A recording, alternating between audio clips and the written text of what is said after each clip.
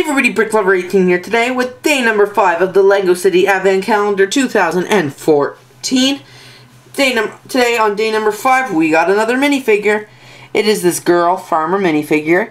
She has got the girl face with some overalls and some green pants, making the overalls look awesome.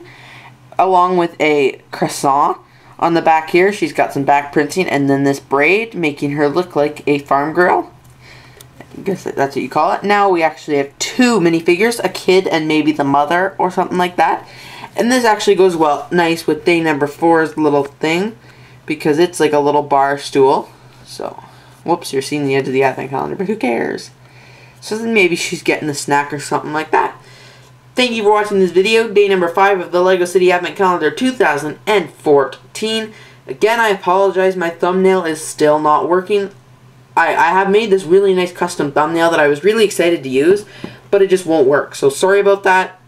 I'm, I'm sorry if you get spoilers. If when you get spoilers, I've been posting them at the end of the day, my videos, so you cannot, so hopefully you've already opened your advent calendar, because there's nothing worse than right in the middle of the morning going on Instagram or something like that, and there somebody's posted a spoiler.